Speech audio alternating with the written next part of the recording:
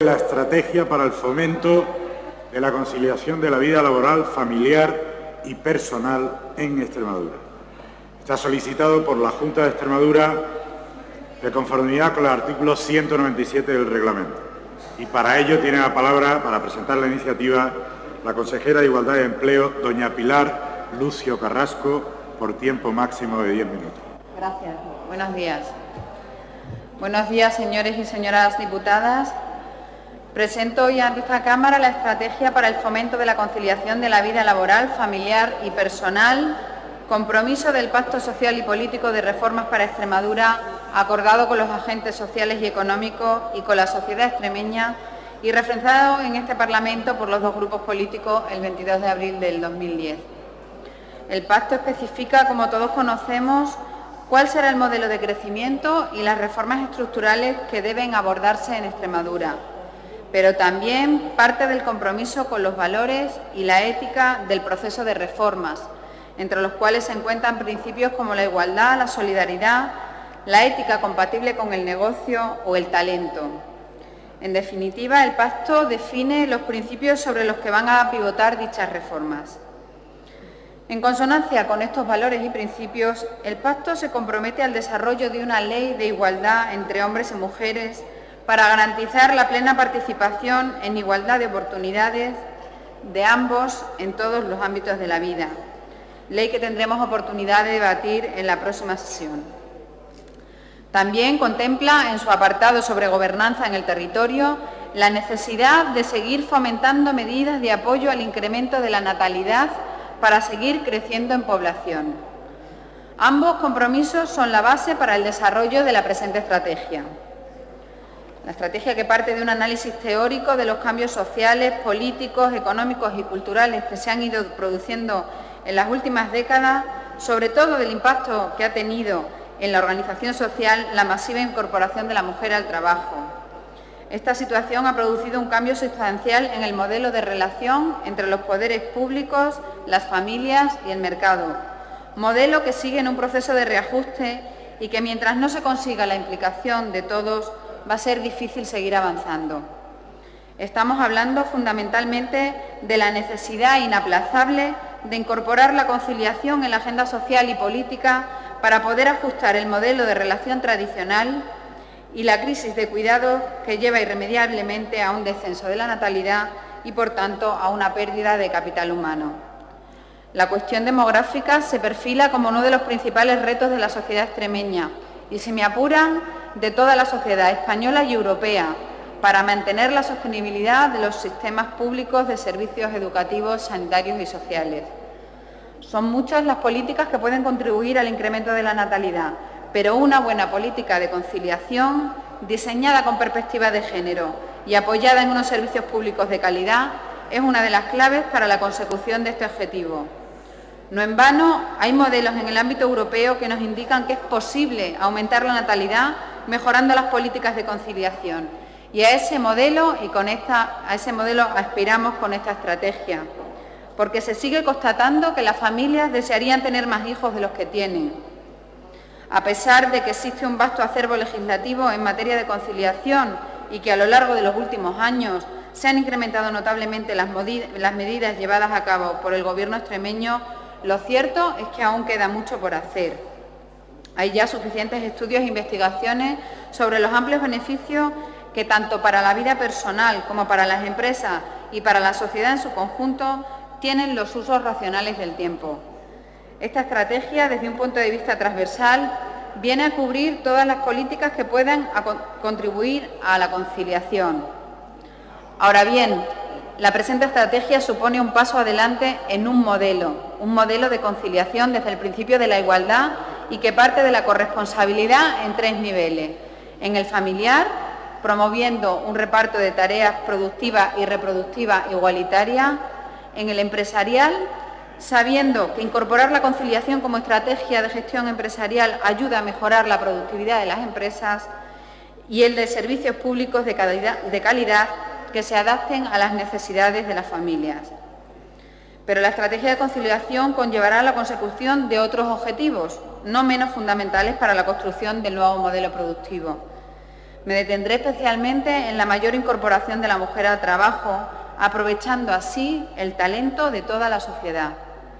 Las dificultades de conciliación y el desigual reparto de tareas de sostenimiento de la vida inciden directamente en la menor tasa de actividad de las mujeres, en la mayor precariedad de sus contratos, en la brecha salarial, en la segregación horizontal, en la salida temporal o definitiva del mercado de trabajo por causa de la maternidad y en el efecto del techo de cristal.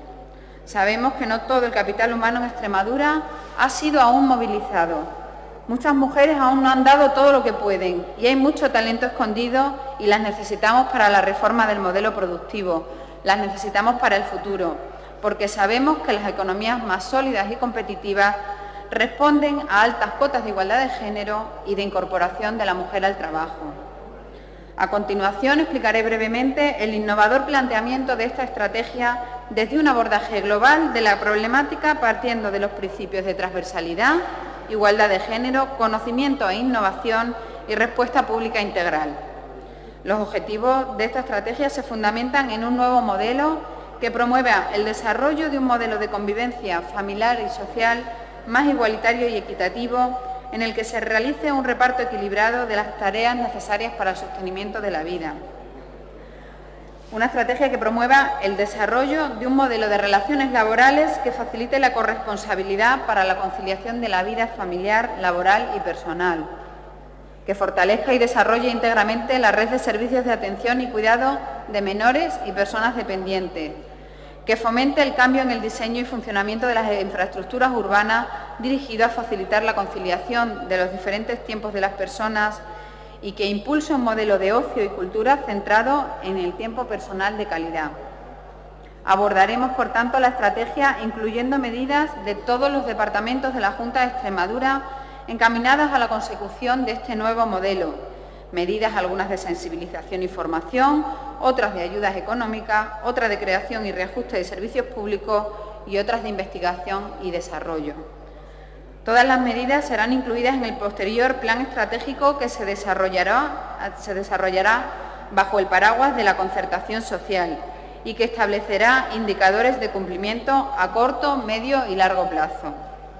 Pasaré a apuntar algunas de estas medidas que supondrán un valor añadido sobre todas las acciones ya puestas en marcha por la Junta de Extremadura, como fomentar la inserción laboral de desempleados con personas dependientes a su cargo, garantizar el derecho de conciliación de las personas trabajadoras, garantizar este derecho por la Ley de Igualdad si se aprueba en la próxima semana, impulsar la inclusión de medidas de conciliación en la negociación colectiva, promoción de empresas, de servicios de proximidad y cuidados, reordenar y extender la oferta educativa para niños de 0 a 3 años, formación de las familias para su implicación en actuaciones educativas y en colaboración con el profesorado, favorecer que las AMPAs y otras asociaciones utilicen los centros escolares para atender a las necesidades de conciliación, promoción de nuevos modelos de gestión del capital humano a través de la formación empresarial directiva, proyectos para explorar las posibilidades del teletrabajo en materia de conciliación, impulsar el ocio en primaria y secundaria como espacio formativo informal para el desarrollo de capacidades emprendedoras e innovadoras. Análisis sobre el uso de los ciudadanos en relación con los diferentes espacios urbanos, transporte y de la repercusión de las políticas económicas en la conciliación de la vida de hombres y mujeres. Apoyo a las corporaciones locales y fomento de los pactos locales para la conciliación. Estos son solo algunos ejemplos de las medidas que conformarán el plan estratégico. Sabemos que esta estrategia es esencial para el futuro social y económico de Extremadura. Vamos a impulsar su puesta en marcha inmediata, incardinando las medidas que ya existen dentro de este plan. Sabemos que se puede contribuir al incremento de la natalidad, como ya hemos argumentado, pero también a la definitiva incorporación de la mujer al trabajo, pero además a la generación de nuevos empleos vinculados a los servicios de proximidad, al fortalecimiento del capital humano en el tejido empresarial, mejorando el clima laboral y la, satisfacción de trabajadores y trabajadoras. También se conseguirán otros objetivos que complementarán a la estrategia de emprendimiento, como la, mejora de las capacidades de los más pequeños a través de la mejora de los servicios de ocio y tiempo libre. En definitiva, será una herramienta estratégica para ganar en igualdad, para ganar en empleo, en justicia social, en sostenibilidad, para ganar en competitividad y sobre todo para ganar en felicidad. Muchas gracias. Muchas gracias, señora consejera. Por el Grupo Parlamentario Popular tiene la palabra doña Teresa Tortonda Gordillo.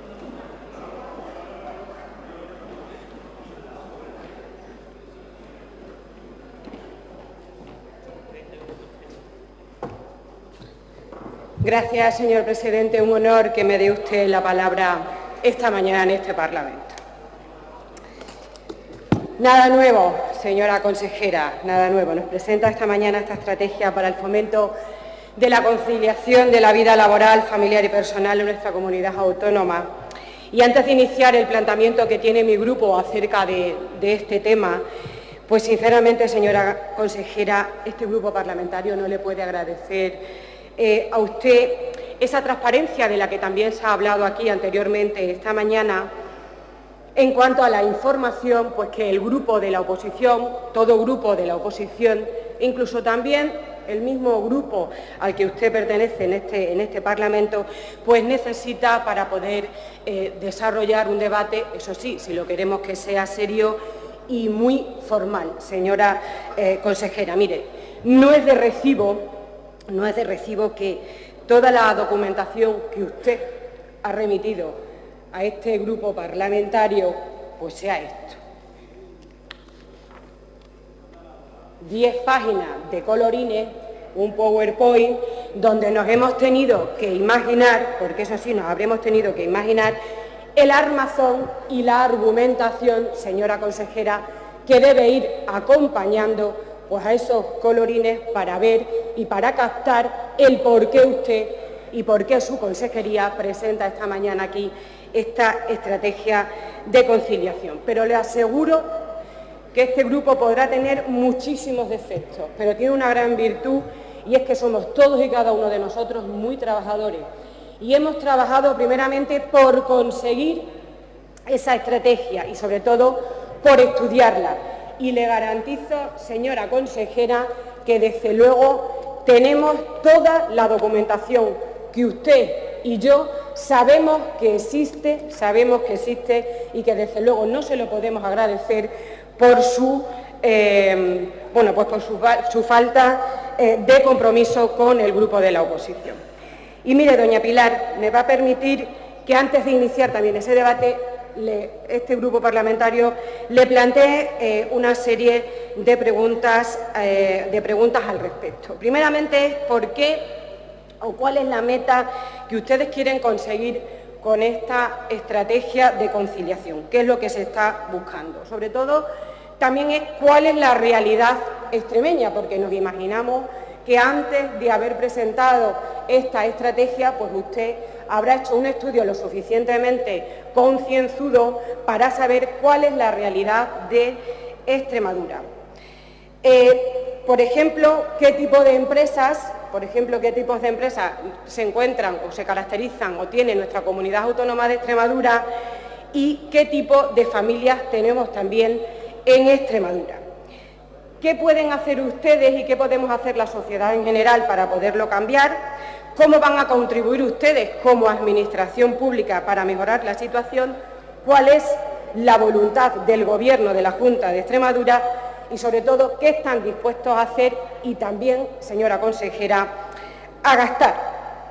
Y este grupo va a iniciar, va a iniciar este debate de la conciliación de la vida eh, laboral, familiar y personal, hablando de la familia. Y hablando de la familia, mire, no es la primera vez que le hacemos referencia acerca de lo que decía el Premio Nobel de Economía en el año 92, Gary Becker, que opinaba que el crecimiento de la población pues, ha sido el factor fundamental para el desarrollo económico y el crecimiento poblacional porque además es uno de los factores más importantes de la economía. Y no vamos a hablar de ningún dato, em, porque ya se han reflejado muchísimas veces a lo largo de estos cuatro años. Pero la, generalidad en este aspecto, señora consejera, es que Extremadura no crece poblacionalmente lo suficiente.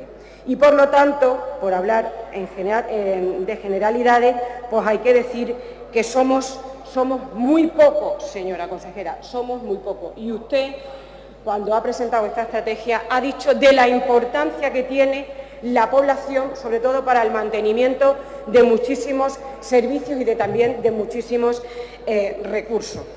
Y además hay que tener en cuenta porque es que es el capital de un país, es su capital social.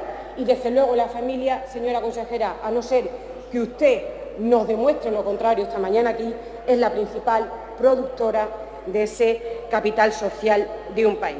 Y me imagino que usted se preguntará, pues, por qué el Grupo Parlamentario Popular Extremadura Unida pues eh, inicia este debate hablando de la familia. Y es muy sencillo, señora consejera, porque la estrategia que eh, ustedes, que el Gobierno, que usted, que su consejería nos presenta esta mañana, pues es de conciliación de la vida laboral y familiar.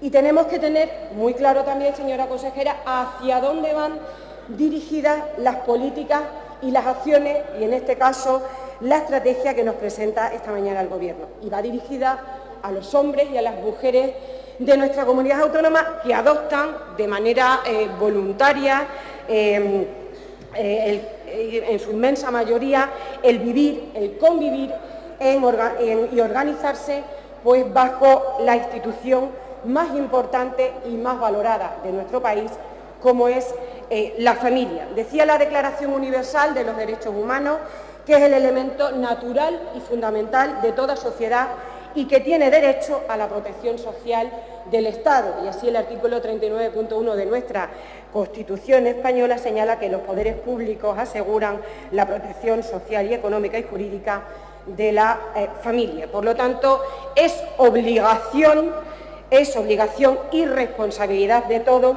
pero más y menos de ustedes como Gobierno el desarrollar esa protección. Tanto es así que todas las comunidades autónomas han regulado el tema y es una lástima tener que volverle a decir aquí pues que somos la última región que presenta pues una estrategia o un plan o un, paraguas de recursos, de medidas eh, organizadas ¿no?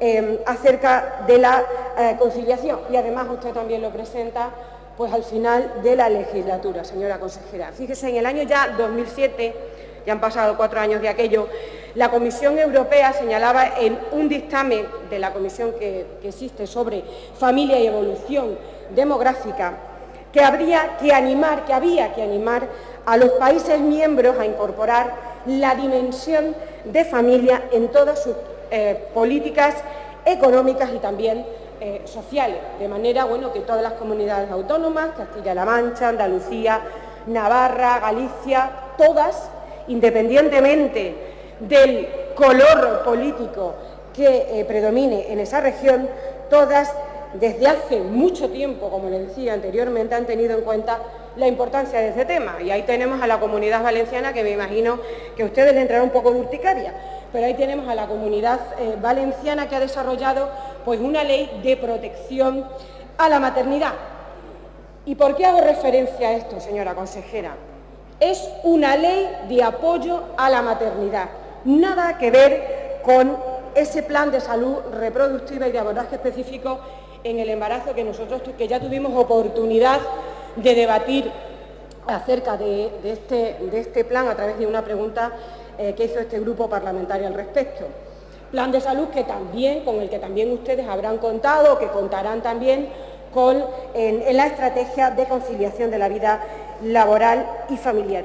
Y plan de salud que ustedes presentan pues, en ese afán que tienen ustedes los socialistas y sobre todo el presidente de la Junta de Extremadura de quedar bien con todo el mundo, pero eso sí, tergiversando, como siempre, la filosofía y el espíritu con el que se trajo a esta Cámara la primera iniciativa legislativa eh, popular. Porque no podemos olvidarnos, señora consejera, que era una iniciativa en que lo que se pedía era la protección a la maternidad, muy relacionado con esa estrategia que usted nos trae esta mañana. Una protección a la maternidad desde un enfoque transversal y entiendo también que desde un enfoque de protección a la mujer como no podía ser de otra manera, pero también de protección al hombre extremeño. Una iniciativa legislativa popular que tiene que quedar muy claro, señora consejera, que ustedes rechazaron y que ustedes votaron en contra. Por eso este grupo inicia esta exposición hablando y valorando a la familia como célula fundamental de toda la sociedad en todas sus, eh, mm, todas variantes. Y, eh, mm, ¿Y qué es lo que necesita la familia, señora eh, consejera, para poder llevar a cabo pues, tan importante función social? Y básicamente lo que necesita toda familia, pues en primer lugar necesita tiempo, usted ha hablado de la flexibilización y de la cantidad de estudios eh, que ya existen hablando de una buena organización y de una buena flexibilización de los horarios, necesita también ayuda económica, por supuesto, como todas las entidades, y sobre todo también necesita libertad, que ya entendemos que ustedes ese concepto no lo van a entender muy bien, pero es lo contrario a todo lo que ustedes hacen, que es intervencionismo.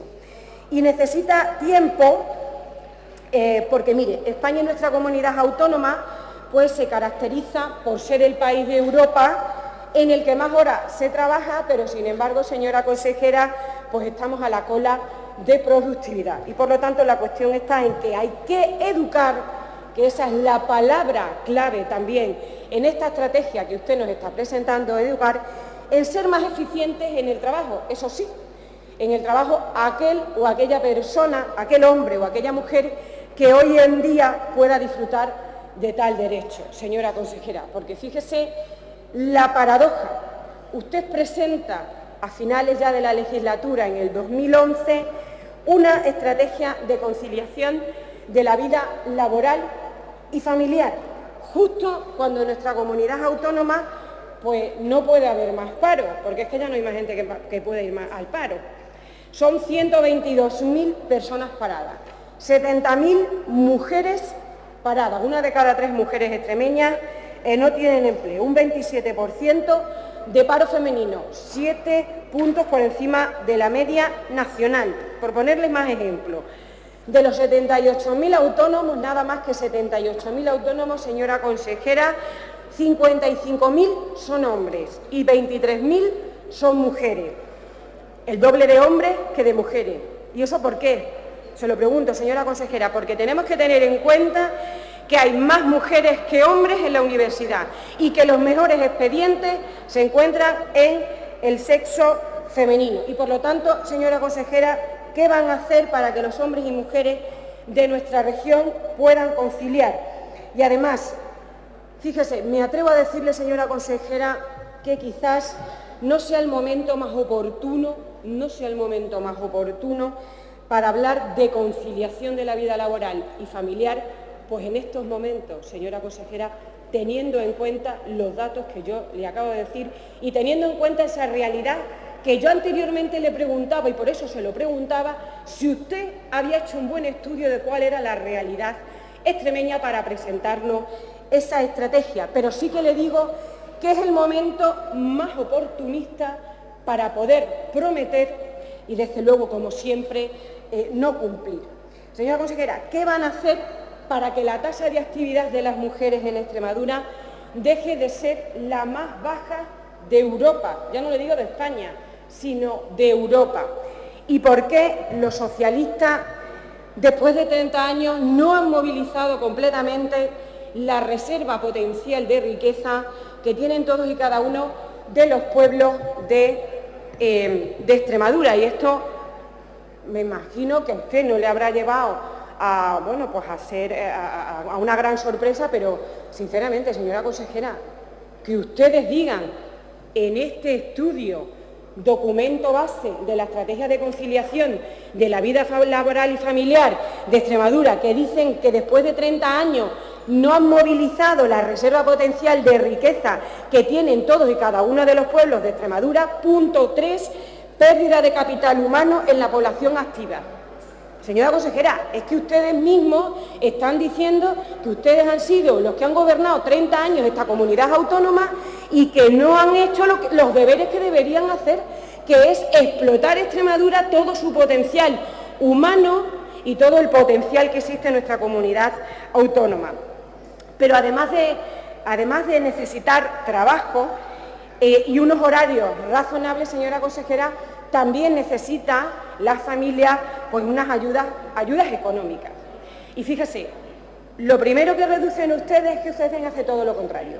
Lo primero que reducen ustedes son las ayudas por nacimiento de hijos, tanto a nivel nacional, el cheque bebé de los 2.500 euros desaparece, como a nivel regional, de los 3.600 euros, pues pasamos a los 1.200 euros, que la pagamos, que ustedes lo pagan en dos veces por el nacimiento del segundo hijo, con, además poniendo una serie de, eh, de cortapisas, ponen ustedes unos niveles de renta, cuando antes esas ayudas a las familias eran universales, y además si tienen la suerte las familias de poderlas cobrar en tiempo y en forma que parece ser, señora consejera, que tampoco. Y hemos hablado de lo que es la familia y, por supuesto, de la importancia que tiene la familia y también de lo que llega a necesitar la familia, tiempo, ayudas económicas eh, y, sobre todo, también libertad, señora consejera. Y lo siguiente que nos tendríamos que preguntar, conciliar para qué, por qué es necesario conciliar. Y nos planteamos esta cuestión, señora consejera, pues porque después de haber leído varias veces esa estrategia, pues a mi grupo no le queda claro el por qué usted, ustedes, su consejería, pues quieren conciliar la vida eh, laboral, familiar y personal de los extremeños y de, las extremeñas. ¿Qué objetivos persiguen? Y si solamente es cumplir por cumplir, el cumplir con, el expediente o porque verdaderamente existen eh, unas razones lo suficientemente fundamentadas y razonadas y que desde luego nosotros pues eh, desconocemos. Eh, para el Grupo Parlamentario Popular Extremadura Unida pensamos que es necesario conciliar, básicamente se podían resumir pues, en tres cuestiones. Y hay que conciliar pues, para crear eh, una estabilidad familiar pues de todo tipo, estabilidad material, emocional y afectiva, y también algo que es tremendamente importante para conseguir, y sería la segunda cuestión, para conseguir una educación efectiva en nuestros menores, en sus hijos, ¿no? como futuros ciudadanos y miembros activos de la sociedad extremeña, como miembros también críticos libres e independientes, iniciando su proceso de socialización en el entorno familiar. ¿Y saben por qué? Pues porque cada vez existe lo que se ha denominado en sociología, existen más niños llave, es decir, niños que llegan por la tarde a casa, que están solos y se sustituye la educación pues familiar como primera base educacional de todo ese proceso de socialización educacional. Em, la educación de los padres por la eh, televisión.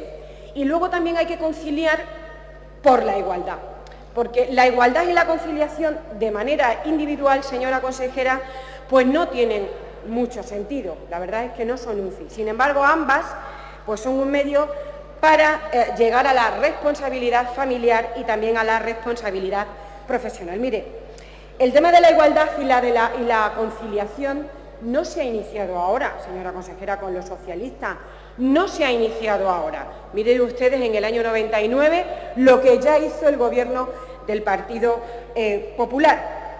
Y tampoco se ha iniciado con la promulgación de las leyes de igualdad que tenemos en todas y en cada una de las comunidades autónomas, aparte también eh, de, la, de la ley que podemos llegar a tener a nivel nacional. Pero tampoco acaba, señora consejera, porque exista legislación al respecto, sino que es un debate que lleva tiempo, lleva abierto muchísimo tiempo, eh, señora consejera, y además desde todos los puntos de vista, desde un punto de vista ético, económico, social, jurídico, cultural, y además temas que hay que abordarlo y que a ustedes se les olvida, pues desde las perspectivas de las políticas de mujer, de empleo, de familia, de organización de los tiempos, para ser solidarios, sobre todo entre las generaciones y entre también y hay que desarrollar políticas, otra vez volvemos a la educación, concepto clave en el tema de la estrategia de conciliación de la vida laboral y familiar. Hay que desarrollar políticas de educación cuyo objetivo sea la calidad de vida, donde se repartan de manera equilibrada los roles masculinos y los roles eh, femeninos. Antes le decía que había que educar en ser eficientes en el trabajo y ahora hay que educar también en ser equilibrados en el reparto de los roles masculinos y femeninos para llegar a tener calidad eh, de vida. Y fíjese, le estoy diciendo educar en, en el equilibrio de los sexos y no, y no aniquilando. Los diferentes papeles que se pueden desarrollar, que puede desarrollar una mujer, son tan sumamente válidos como los diferentes papeles o roles que pueden llegar a desarrollar los hombres de esta comunidad autónoma sin destrozar ninguno. Por lo tanto, ese modelo, y por eso es por lo que he hecho referencia a esto, el modelo de relación tradicional no se ha resquebrajado. No se ha resquebrajado ese modelo de relación tradicional. Eso no es así. Eso no es como ustedes llegan a decir en la introducción de esta estrategia. Lo que sucede es que la sociedad en general y los hombres y mujeres en particular avanzan en igualdad. ¿Que queda mucho por hacer? Indudablemente que queda muchísimo por hacer. Pero ahora, de manera colectiva, lo que tenemos que hacer es frente a ese reto, a ese avance en igualdad, pero todos juntos, es decir, las empresas, la sociedad civil, nosotros mismos de manera individual y también las administraciones públicas. Ustedes dicen también en esa introducción que con esta estrategia lo que quieren hacer es transformar las estructuras sociales básicas de familia de manera que se construya nuevas formas de relación entre ellas, es decir, entre los poderes públicos, entre la familia y los mercados. Y nosotros desde mi grupo le preguntamos qué tipo de relaciones quieren que se desarrollen, qué tipo de transformación quieren. Porque dicen ustedes que vamos por la segunda transformación, eso es lo que pretendía el señor presidente de la Junta de Extremadura, pero aún no hemos terminado la primera. ¿Cómo lo van a hacer? y también algo que yo siempre pregunto en las iniciativas, en las leyes, en las propuestas que ustedes hacen. ¿Cuánto va a costar? ¿Cuánto va a costar esta conciliación? Y se lo pregunto porque la conciliación lleva consigo una serie de gastos, señora consejera. Una serie de gastos que alguien tiene que asumir, pero que desde luego nadie se hace responsable de esos gastos. Y de la misma manera que lleva implícitamente gastos, pues también podemos decir que la conciliación o que conciliar resulta rentable, por ejemplo, para las empresas porque disminuye el absentismo y aumenta el compromiso y la satisfacción de las empleadas o de las empleadas y eso va a repercutir directamente en el éxito empresarial, que es lo que va buscando todo empresario.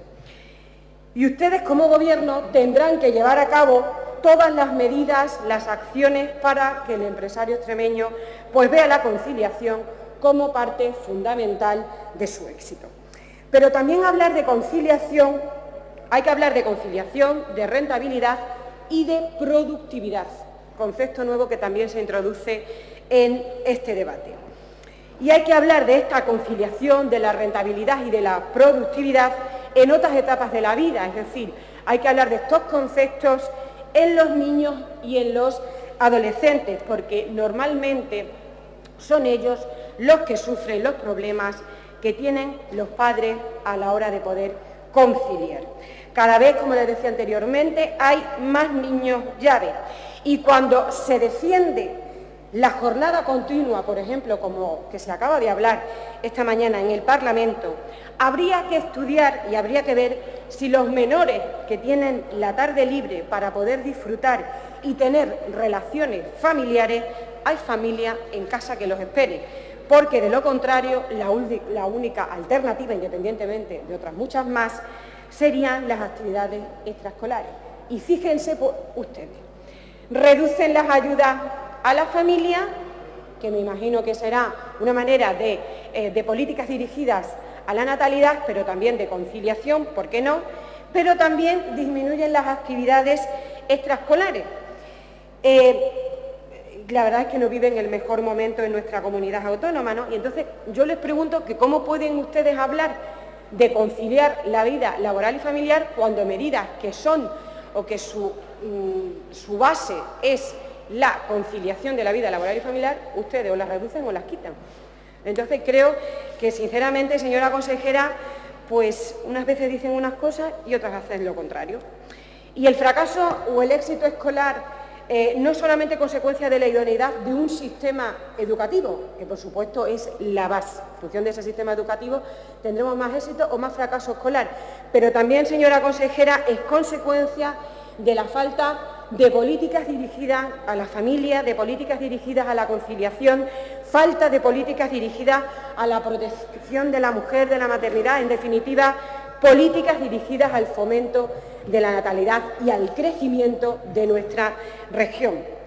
Y se lo he dicho en varias ocasiones en este debate, ustedes se caracterizan por decir una cosa y hacer totalmente la opuesta, la contraria. Sus políticas, sus medidas generalmente se desarrollan sin ton ni son, sin tener un hilo conductor.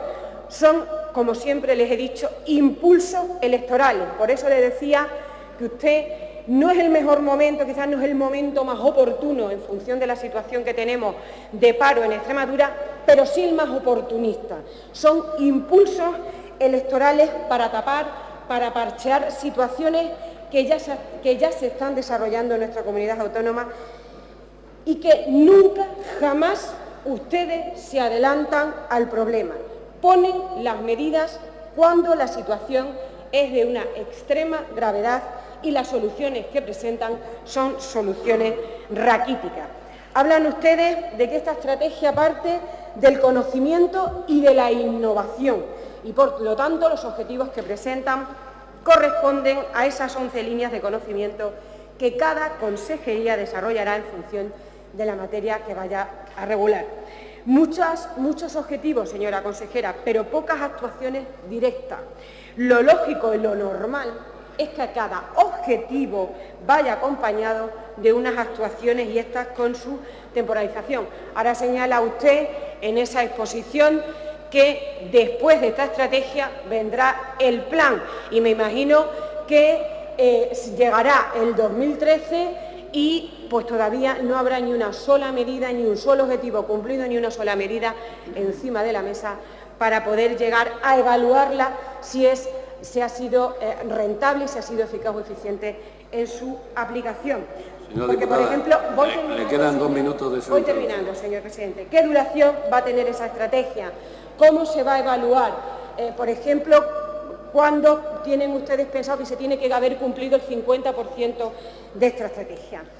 Además, por ejemplo, en la línea 2 de conocimiento orientado a la detección de las necesidades de conciliación de la ciudadanía, el objetivo, le pregunto en qué consiste ese objetivo de fomentar el comercio minorista y la artesanía, de modo que se facilite la conciliación a los agentes implicados, personas empresarias y personas consumidoras.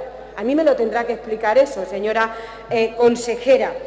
Por ejemplo, en la línea 2 de esta consejería también, en la, línea, en la línea 2 de la Consejería de Fomento dice examinar las necesidades de vivienda para modelos de familia y crear espacios específicos.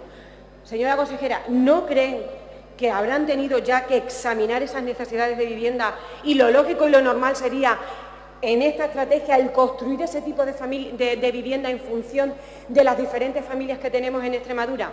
Y hay algo que choca mucho, señora consejera, y ya termine, señor presidente. En la Consejería de Sanidad y Dependencia, porque como ha dicho usted, es totalmente transversal esta estrategia, en la línea de conocimiento 10, uno de los objetivos dice que el incremento, dicen ustedes que el incremento de las prestaciones económicas vinculadas al servicio.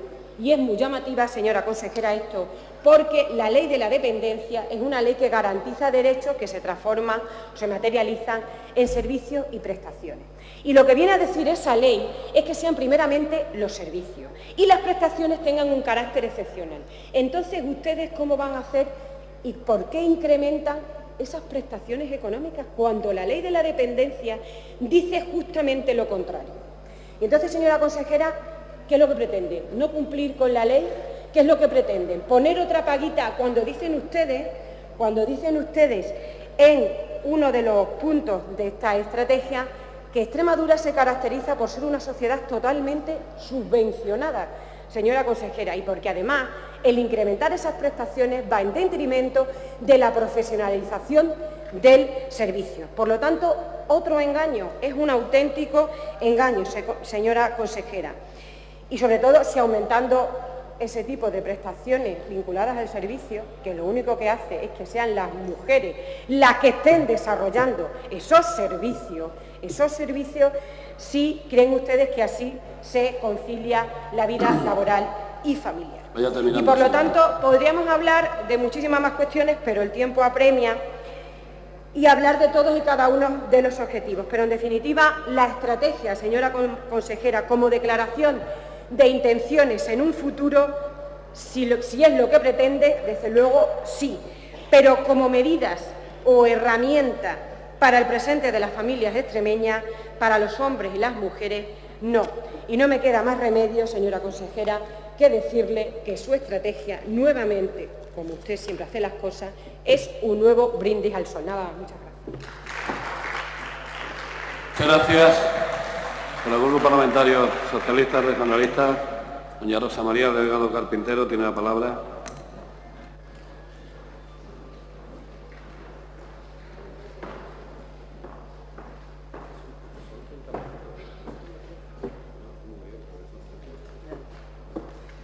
Gracias, señor presidente. Buenos días, señores diputados. Debatimos aquí hoy una estrategia más la séptima de las acordadas en el Pacto Social y Político firmado en nuestra región. La estrategia para el fomento de la conciliación de la vida laboral, familiar y personal en Extremadura. Una estrategia de conciliación es, en esencia, un conjunto de actuaciones cuyo fin es equilibrar tres esferas de la vida que se encuentran, en mayor o menor medida, enfrentadas entre sí la esfera personal, la esfera familiar y la esfera profesional. Dicho de otra manera, hoy el Gobierno nos ha presentado distintas líneas de actuación encaminadas a que las personas puedan disfrutar de la libre disposición de su tiempo, sin incurrir en la desatención de sus necesidades familiares y sin interferir en sus obligaciones profesionales. La conciliación así entendida es un objetivo claro de las políticas de bienestar social.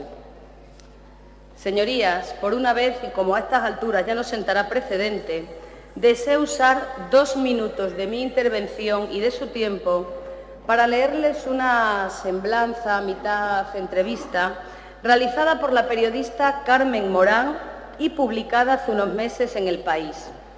Habla de Delia, Delia, a sus 63 años, todavía cuida en casa a dos de sus cuatro hijos. Ya tienen 35 y 37 años, ambos solteros. Mamá los cuida, les hace la comida, lava, les plancha, ellos están bien aquí, dice entre risas. Otros dos ya se casaron.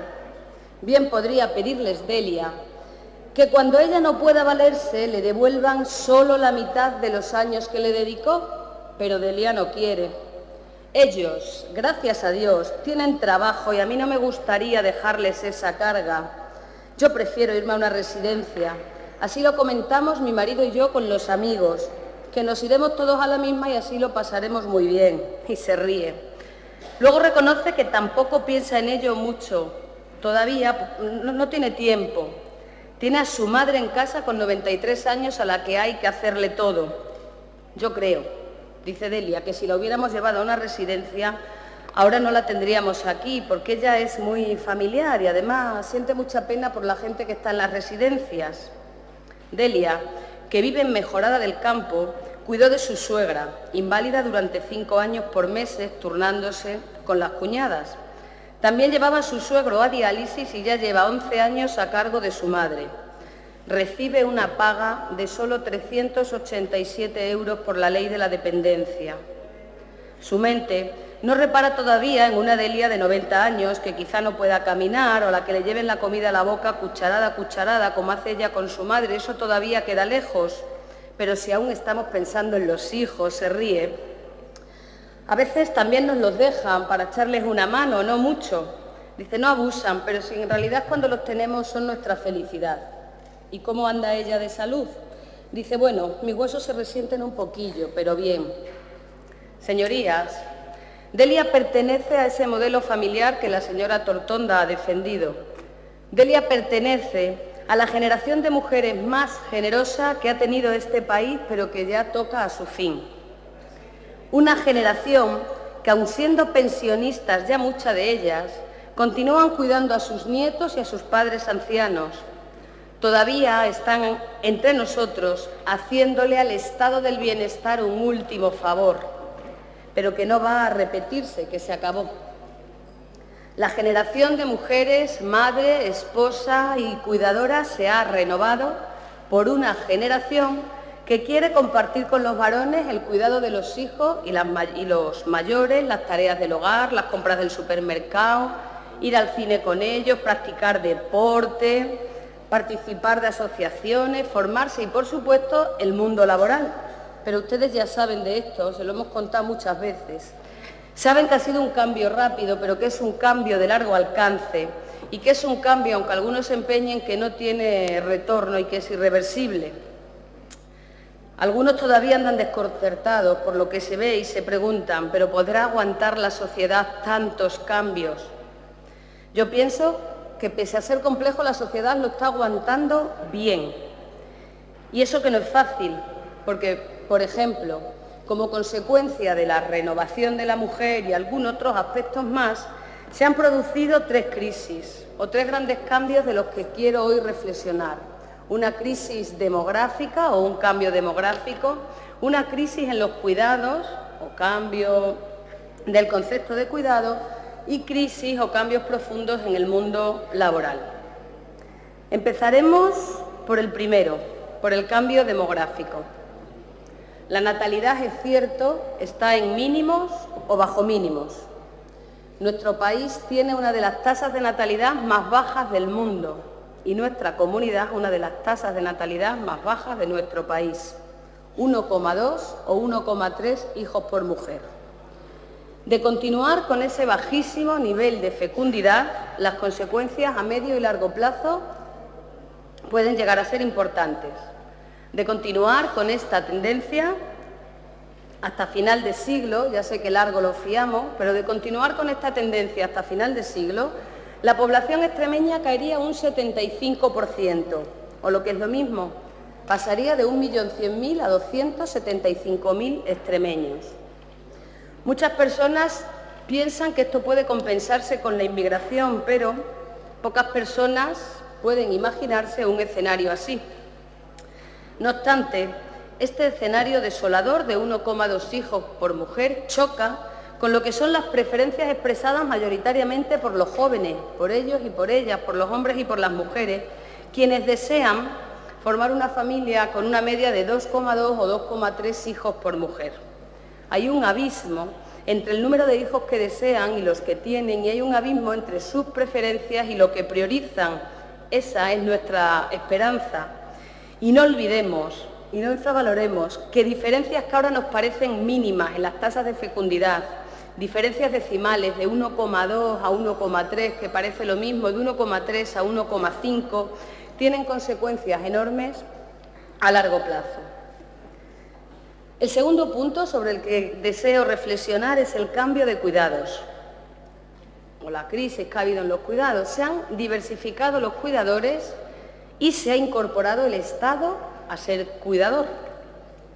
Ahora podemos afirmar que cuidan las madres, pero cada vez más los padres de sus hijos, que cuidan las abuelas, pero cada vez más los abuelos de sus nietos, que cuidan los cónyuges del otro cónyuge, que cuidan las nueras de su suegro, pero cada vez más ayudan los yernos a sus suegras y que cuidan los nietos a las abuelas pero además de incorporarse los varones a los cuidados familiares, se han incorporado, a cambio de una remuneración económica, cuidadores externos a ellas. Un gran número de mujeres inmigrantes, sudamericanas, la mayoría, para que ustedes me entiendan, se ganan la vida así.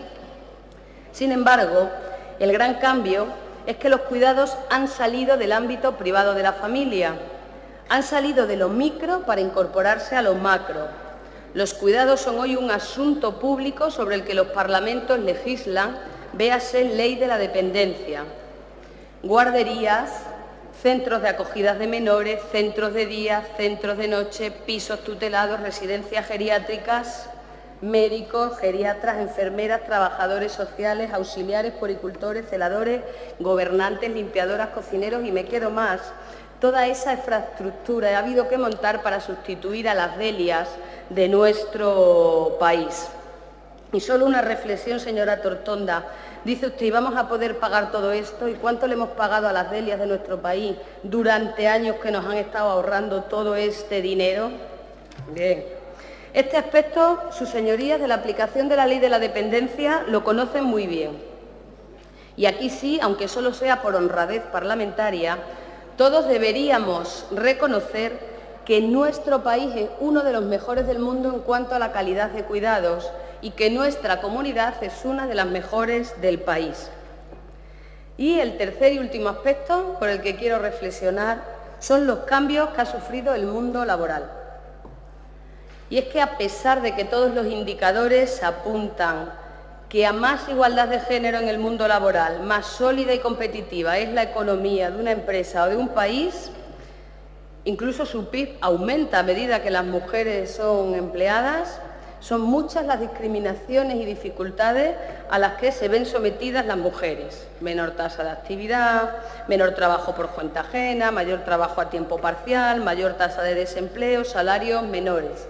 A veces empezamos a sospechar que es que los jefes de la economía conspiran cuando no les oímos contra la igualdad. Pero, señorías, en vez de contrastar estas afirmaciones con los datos que aportan los numerosos estudios realizados o los datos que un mes tras otro nos arroja el INE o la EPA, quiero verlo hoy con algo más de literatura, con ella y él, que son una pareja normal de nuestro tiempo ella y él ambos se incorporan al mundo laboral con 30 años y cada uno guarda en una hucha lo que va ganando. Cuando llegan a los 65 años abren los dos la hucha, pero sorpresa, ella tiene menos dinero que él a los 65. Echan las cuentas y descubren, si me permiten, se lo explico, echan las cuentas y descubren que ella, para, para tener en la hucha lo mismo que tiene él, tendrá que seguir trabajando hasta los 70 y dependiendo de algunas variables hasta los 72, 73 o 75. Eso que les cuento es verdad y como no se lo creen les voy a poner un ejemplo mucho más real. No, no tan ambiguo. Ella y él son la misma pareja, pero ahora les voy a decir dónde trabajan. Algo más sugerente como que son pilotos de vuelo en Iberia Airlines o controladores aéreos en AENA, que todos conocemos bien las características de la profesión.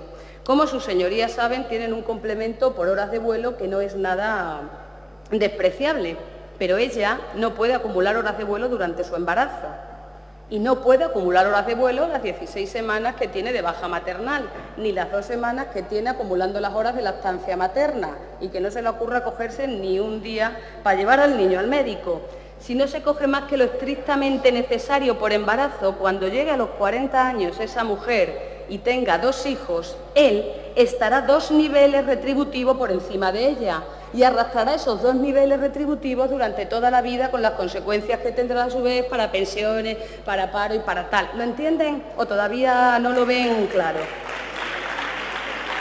¿Entienden ahora la brecha salarial con un ejemplo que, que conocen?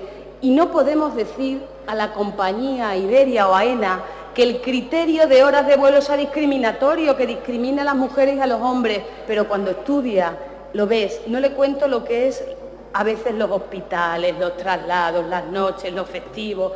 Claro que hay mucho que, trabajar porque ellos siguen teniendo más facilidades, pero no nos despistemos. Pasemos, si quieren, a otro ejemplo, del avión al barco, o mejor, del barco al puerto, a un puerto pesquero, al puerto de Vigo, señora Tortonda, para que luego pueda buscar la documentación.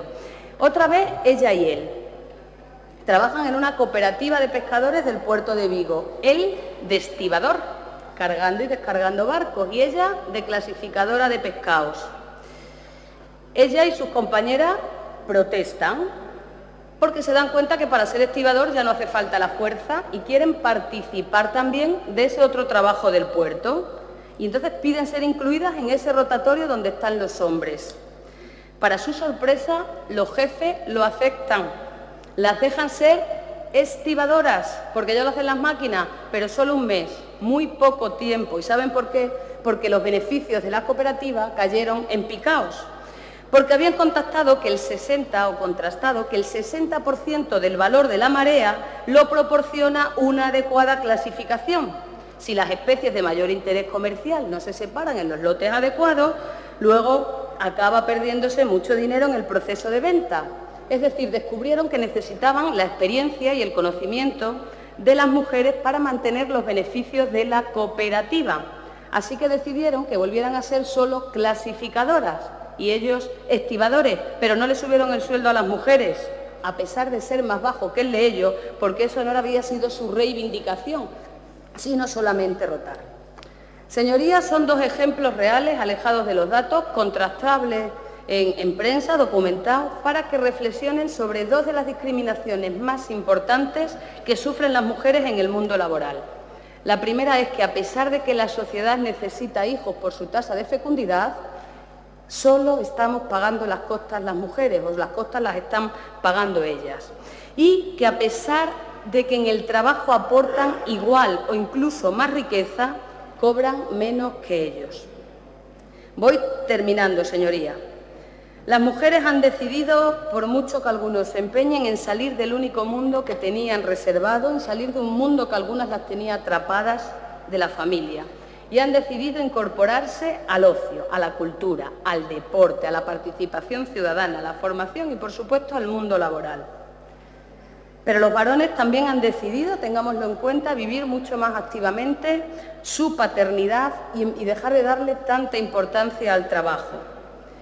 Esas dos decisiones han traído desequilibrios que debemos corregir, porque no puede seguir descendiendo la natalidad, porque hay que continuar, hay que continuar cuidando a los niños, a los mayores, a los que están enfermos, y porque no podemos permitir que la incorporación de las mujeres al mundo laboral se haga con discriminación. Y la mayor herramienta para que todas estas cosas sean posibles son unas buenas políticas de conciliación. No es mi intención enumerar cuáles han de ser, decirles sí que afectan a todos los ámbitos de nuestra vida, que la conciliación es un fenómeno multidimensional con un amplio número de agentes implicados y diversidad de materias sobre las que actuar. La estrategia que hoy ha presentado el Gobierno recoge alguna de ellas perfectamente, de una manera clara, concisa y comprensible. Y dijo recoge algunas porque otras se le escapan a sus competencias y son responsabilidades de cada uno de nosotros. Tenemos que poder disfrutar libremente de nuestro tiempo sin desatender por ello a las necesidades de nuestra familia y sin que ambas cosas interfieran en nuestras obligaciones profesionales, porque no se trata de vivir, sino de vivir bien, como decía Sócrates, y no se puede vivir bien si no aprendemos a conciliar. Eso es todo.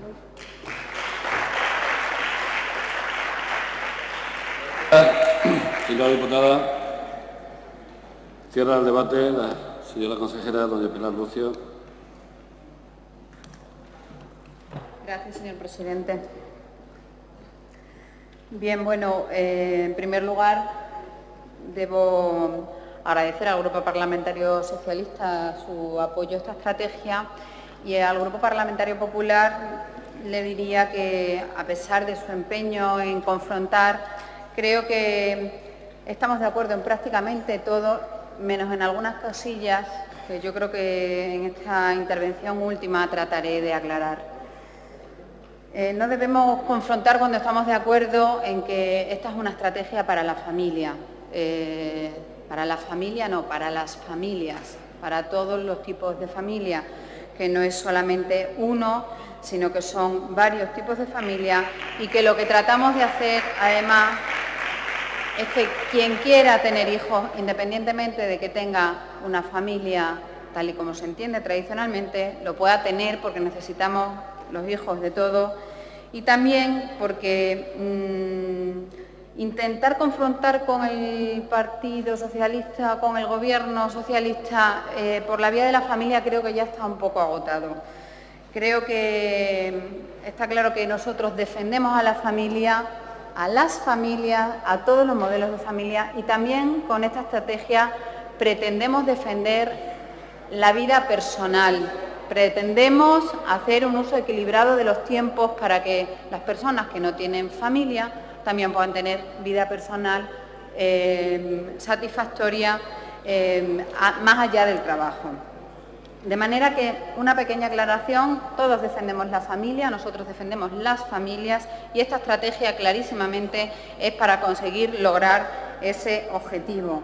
Usted en su intervención ha hablado, eh, ha utilizado eh, palabras como, hablando también de la familia, sobre el efecto, el buen efecto que puede tener la conciliación en la familia para conseguir estabilidad emocional, eh, buena educación, eh, que seamos personas, que nuestros hijos sean personas críticas, libres, independientes. Pues yo estoy de acuerdo también en que precisamente hacemos una estrategia de conciliación para conseguir lograr esto. Y desde luego, yo no, he tenido tanto tiempo como usted, que han tenido media hora, yo he tenido solo diez minutos y lo he querido resumir en que tengamos una mejor calidad de vida y que seamos más felices. De eso se trata la estrategia de conciliación que traemos hoy aquí. Usted ha hablado de muchas cuestiones, creo que algunas no las ha entendido claramente, no, no creo que sea por el texto que les hemos pasado, sino más bien porque no comprende muy bien eh, las cosas que yo cuento y espero que eh, intentaría tener una labor más pedagógica, lo he llevado intentando hacer durante estos tres últimos años, creo que lo he conseguido bastante poco, pero bueno, de todas maneras yo lo seguiré intentando. Volvemos a hablar de que tenemos una estrategia y que no tenemos presupuesto. Esto ya es la coletilla de, de todas las iniciativas que traemos, sean iniciativas legislativas, sean estrategias que traemos aquí. Mm, parece que mm, no acabamos de entender la situación en la que estamos viviendo, que nosotros desde luego como Gobierno hemos asumido la responsabilidad con mayúsculas de asumir la situación en la que vivimos. Y apela usted a dos medidas que tenían relación con la conciliación, que no tienen que ver con la estrategia, pero usted la saca aquí y yo me veo la obligación de tener que, bueno, pues que argumentarlo. Habla usted de las ayudas a la familia y habla usted de las actividades extraescolares. Eh, me parece que, bueno, sobre todo lo de las ayudas a la familia, hace tiempo que lo hablamos aquí, pues se le puede haber olvidado, pero lo de las actividades extraescolares se ha tratado en el día de hoy.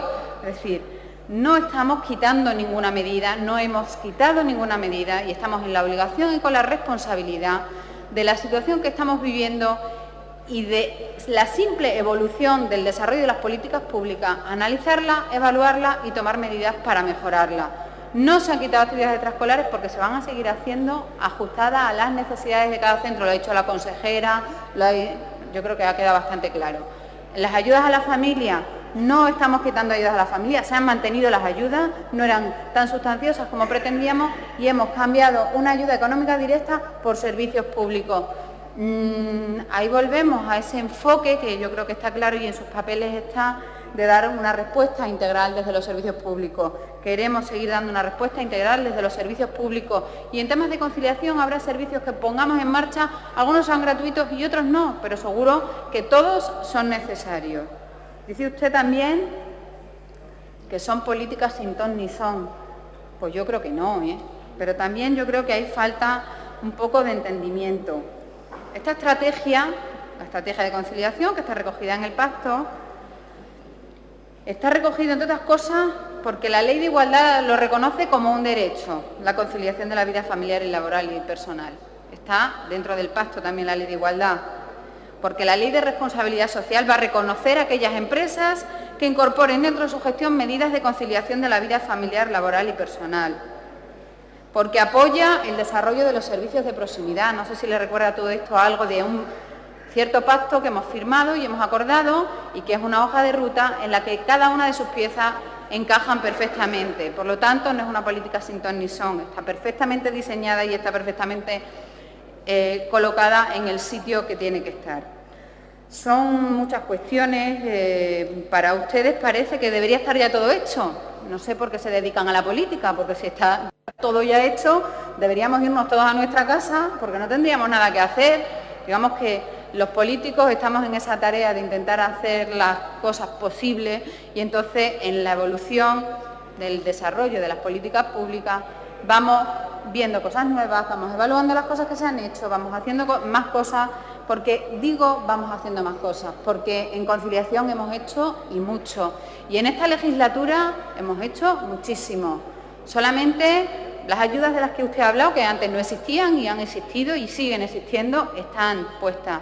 Los centros de educación infantil que se han abierto en, 130 localidades, los comedores escolares, las aulas matinales, todas las ayudas que estamos dando a las autónomas, que sí es verdad que hay menos autónomas que autónomos, pero no podemos ir a la foto fija. Ahora ya hay un 51% de autónomas que se dan de alta, más que de autónomos.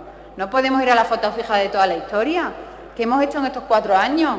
Se han hecho muchas medidas que fomentan la, igualdad, muchas medidas que fomentan la incorporación de la mujer al trabajo y a las pruebas me remito. Y me va a permitir que me remita a las pruebas, porque yo creo que es importante y destacable saber que de los 9.000 empleos de universitarios que se consiguieron en los últimos dos años, 8.500 empleos eran de mujeres.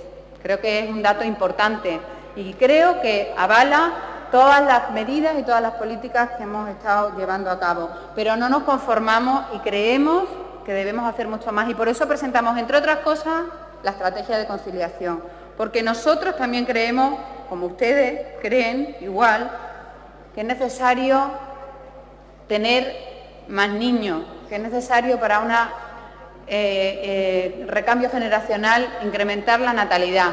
Y porque dentro de la libertad, que ustedes han hablado de la libertad y todavía eso me ha despistado un poco, no sé muy bien en qué sentido hablaban de la libertad, porque yo creo que para ustedes en los tres ámbitos que le hemos hablado, la familia, los poderes públicos y la empresa, todo lo que tenga que ver con la empresa, mm, la libertad por supuesto total y en la familia ya pues vamos viendo a ver qué es lo que en lo que se puede ser libre y en qué no. Bueno, pues nosotros dentro del máximo respeto a las decisiones, sobre todo de las mujeres, de ser madres, queremos facilitar todo el entorno para que desde los servicios públicos no sea, mm, o mejor dicho, que creemos el tejido necesario para que desde los servicios públicos se pueda dar una respuesta a las necesidades de la familia. Dice usted niños llave.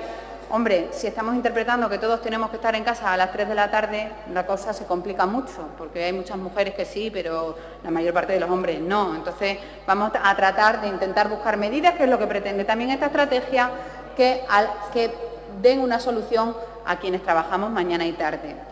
En fin, son muchas cosas las que se han hablado. Yo, a mí me gusta responder a lo que, a lo que me han, a lo que me, han trasladado el Partido Popular. Eh, yo creo que, como decía al principio, independientemente de que estemos intentando confrontar, yo creo que todos sabemos que ese reajuste, aunque usted, usted ha dicho que caminamos en igualdad, yo creo que todavía tampoco, ahí no estoy de acuerdo, creo que todavía no podemos decir que hombres y mujeres caminamos en el camino de, eh, manera igual porque realmente no lo creo, pero creo que tenemos mucho que hacer. Creo además que estamos de acuerdo en, lo básico, eh, que hay cuestiones ideológicas que es difícil que las podamos salvar, pero creo que merece la pena trabajar en esta línea y sobre todo merece la pena tratar de entender qué es lo que estamos haciendo con esta estrategia de conciliación, porque va más allá eh, de lo que usted piensa que es un parche más o que tiene que ver con el momento electoral, no sé, estaba firmado en el pacto desde hace mucho tiempo y usted piensa que lo sacamos ahora, no sé por qué. Tiene que ver con algo mucho más importante y cerraré como cerré mi intervención porque tiene que ver con la felicidad. Muchas gracias. Gracias, señora consejera. Conforme a la ordenación del debate acordada en la Junta de Portavoces, los grupos parlamentarios dispondrán de 60 minutos para presentar las propuestas de resolución, tiempo al cual vamos a levantar la sesión para comer hasta las 5 menos cuarto de la tarde.